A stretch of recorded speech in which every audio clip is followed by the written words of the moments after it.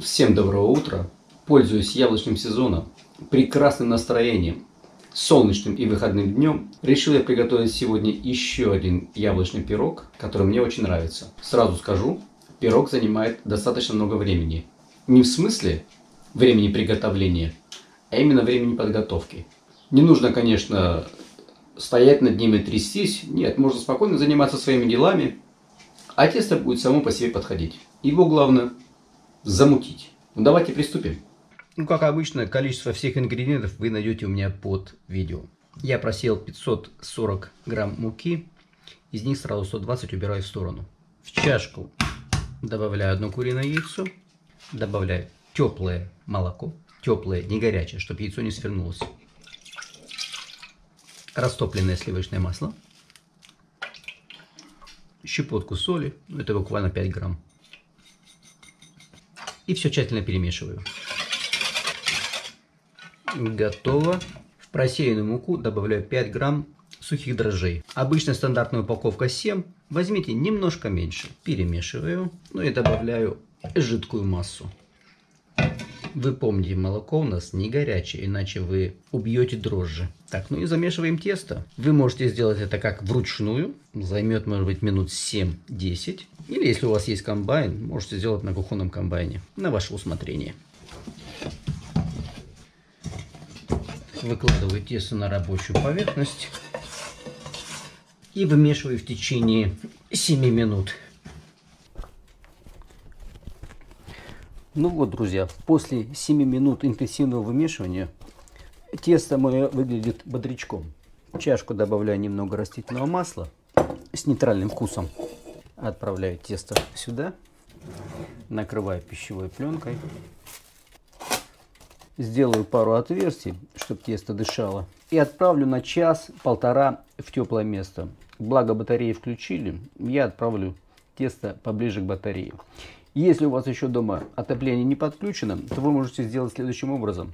В стакан, точнее в кружку, налить кипяченой горячей воды, накрыть пленкой и, если у вас есть микроволновая печь, поставить все вместе в микроволновую печь, закрыть. И за счет тепла тесто будет подходить. Если вы заметите, что вода у вас уже остыла, вытащили тесто, включили микроволновую печь, подогрели немного воду и опять все вместе. Такой небольшой трюк. В духовке с лампочкой я как-то не особо доверяю.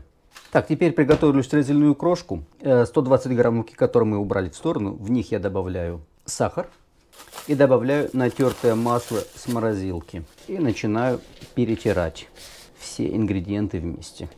Как только масло начнет от тепла рук плавиться, то начнут соединяться все ингредиенты. Я уже заранее прогрел духовку на 180 градусов. И какую-то часть штрезельной крошки я запеку сразу. В дальнейшем вы увидите, для чего я это сделал. Этого делать не обязательно, но я считаю, что так будет вкуснее. Но это лично мое мнение. Если среди вас есть кондитеры с образованием, вы можете мне возразить. Точнее, лучше аргументировать. Вот весь процесс у меня занял меньше двух минут. Все, мне этого будет достаточно, мне слишком крупная крошка как таковая не нужна. Далее я отсыплю буквально немного крошки в сторону. Ну, немножко, это примерно 100 грамм. Этого будет мне достаточно. Так, ну остальную часть крошки на пекарскую бумагу, противень и в духовку на 10 минут. Так, крошка готова я сразу ее отправляю в чашку.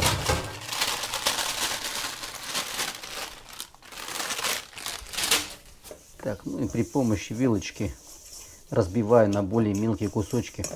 Просто если я ее оставлю остывать так, то она у меня, как бы этот карамель, сахар, он будет жестковат, мне будет это просто сложнее сделать. Поэтому я делаю это сейчас и сразу.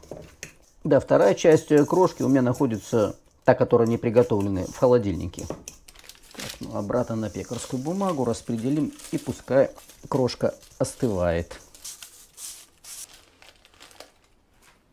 Но я пока подготовлю яблоки.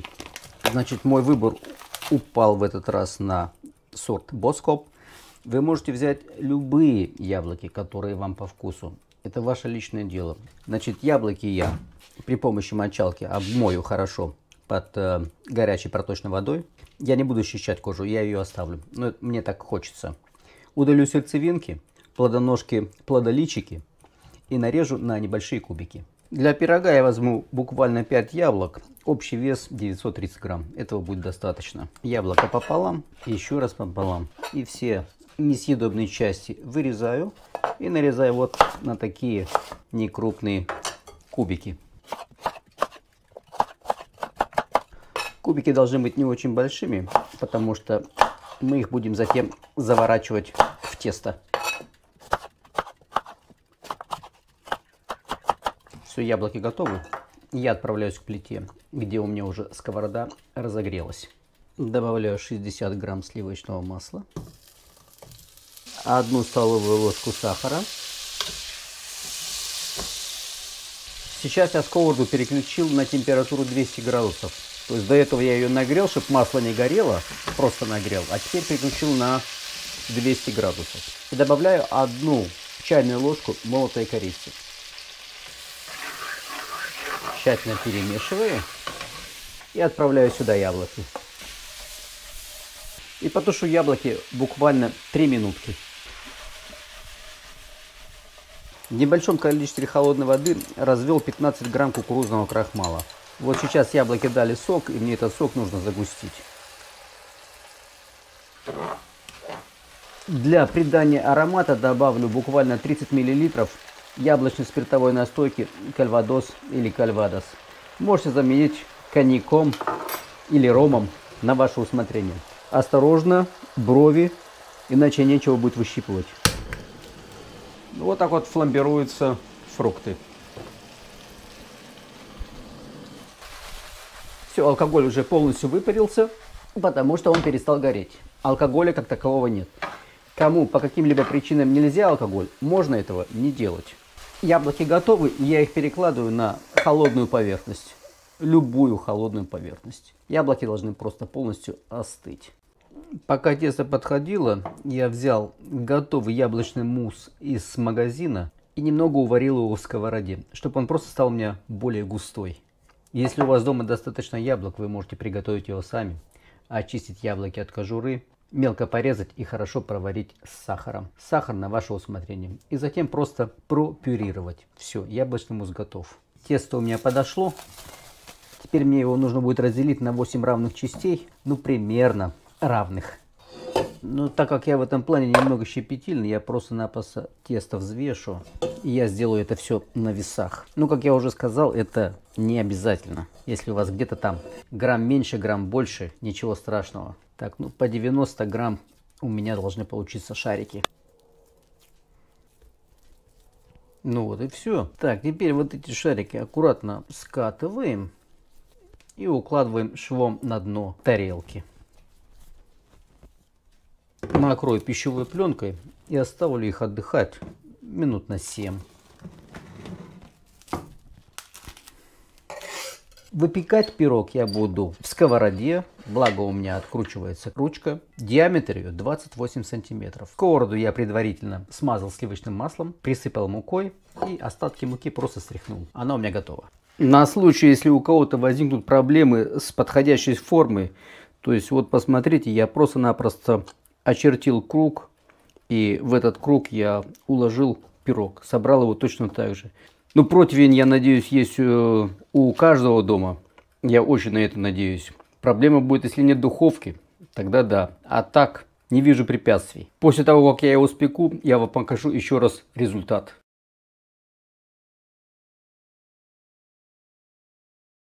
Ну и начинаю раскатывать тесто. Присыпаю поверхность немного мукой. Буду раскатывать я, ну у меня здесь все обозначено по 28 сантиметров в коржи.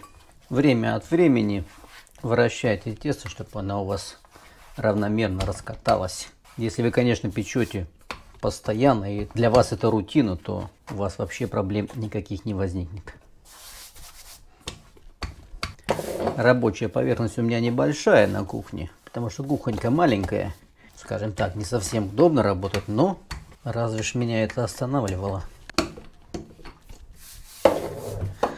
Нужный диаметр достигнут, и теперь я распределяю яблочный мусс. Буквально по 30 грамм на каждый корж. Вот эту готовую штрезельную крошку мне нужно мысленно разделить на 8 равных частей. Присыпаю крошкой, складываю корж пополам, еще немного крошки. По яблокам также мне нужно мысленно разделить яблоки на 16 равных частей. Укладывать начинку я буду с двух сторон. И заворачиваю.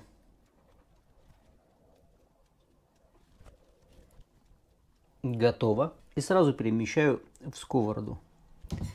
Делать я буду корж за коржом, потому что на кухне, как я уже сказал, мне особо не разбежаться. Было бы хорошо раскатать все коржи, а потом распределить все начинки. Ну и постепенно раскатываем все коржи и наполняем начинкой. Все то же самое. Высыпаю остатки штрезельной крошки. Я вам вначале показал, что я крошку два раза сыплю. Не делайте это. Один раз сверху. Все. Накрыл. И до свидания.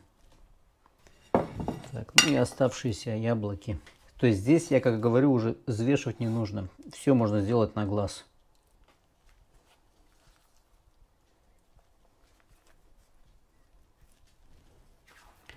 Так, убираем в сторону. Ну, теперь мне нужно будет втиснуть.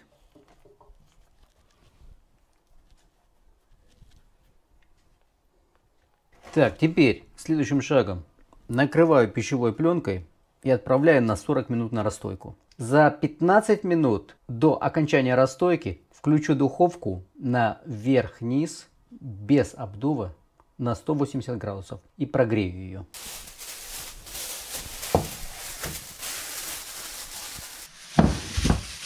Так, но у меня на расстойку ушло немного больше времени, потому что место оказалось не совсем теплым, поэтому чуть-чуть дольше. Так что смотрите по вашему пирогу сами, сколько ему понадобится время. Так, ну теперь нужно его помазать желтком, что я сейчас и сделаю. Так, нужна кисточка, а кисточки у меня, к сожалению, нету. Так, ну что, будем, будем импровизировать. Господи, какие проблемы.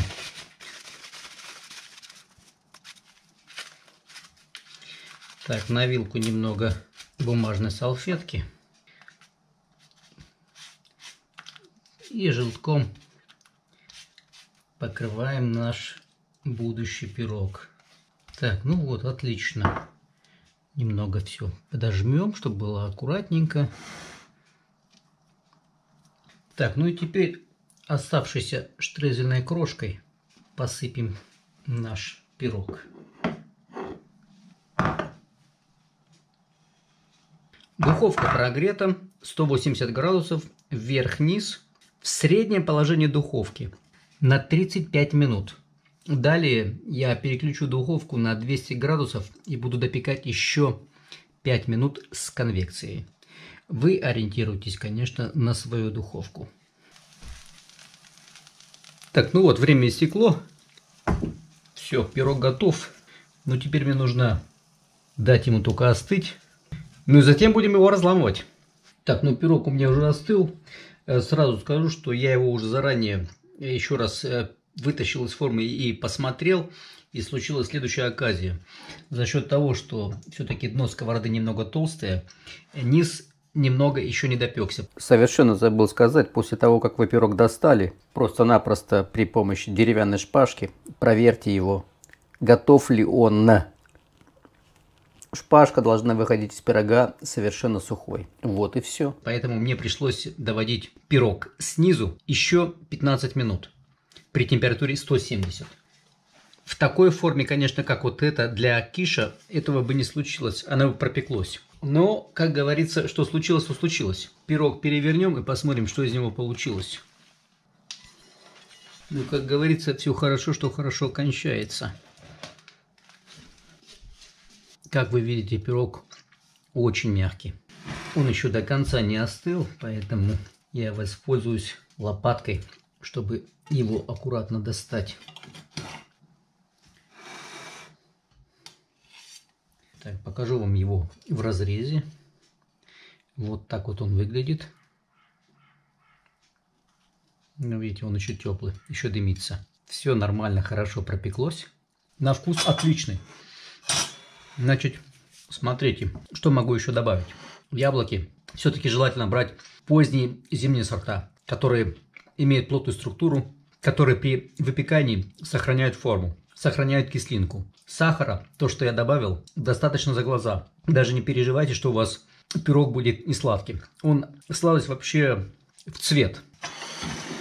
Если мало ли кто-то не хочет делать сверху с штрейзелем, то можно вместо штрейзеля, после того, как пирог испекли, смазать его 30% сметаной, взбитой с сахарной пудрой. Да, желательно, конечно, сметану для начала подвесить, чтобы лишняя влага ушла. Тогда она будет густой, и сразу, как только пирог горячий достается из духовки, сразу же промазывается.